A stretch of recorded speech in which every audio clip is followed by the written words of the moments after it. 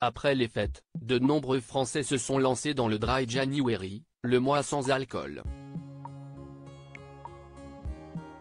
C'est notamment le cas d'Alexandra Lamy et sa fille Chloé Joannet, qui ont dévoilé les difficultés qu'elles rencontrent dans une vidéo hilarante partagée sur Instagram, dimanche 7 janvier. Un duo mère-fille très complice. À 26 ans, Chloé Joannet a décidé de marcher dans les traces de sa mère et de sa tante en devenant actrice. À l'instar d'Alexandra Lamy et Audrey Lamy, la jeune femme enchaîne les projets depuis plusieurs années.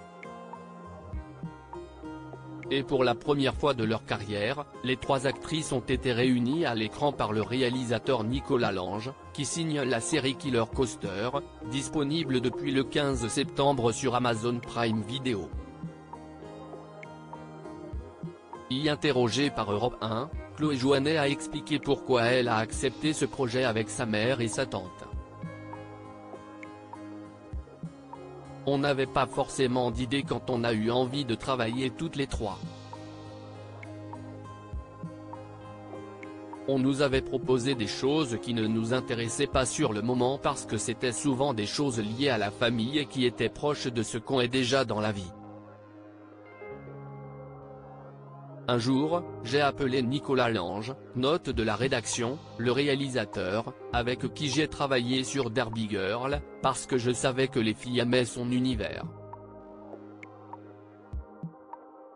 Je lui ai demandé d'écrire un pitch pour une série pour voir si ça pouvait nous plaire, et ça l'a fait, a-t-elle confié. Lâche cette bouteille. Très active sur les réseaux sociaux, Alexandra Alamy partage régulièrement des moments avec sa sœur et sa fille.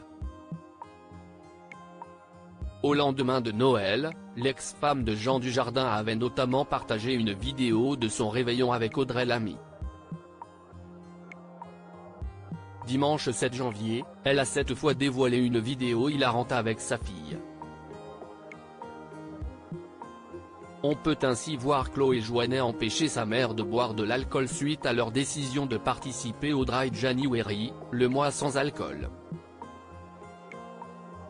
Jusqu'au 15, pas d'alcool, rappelle la jeune femme. Je cherchais une limonade. Excuse-moi, je me suis trompé, explique alors Alexandra Lamy, une bouteille de champagne dans la main.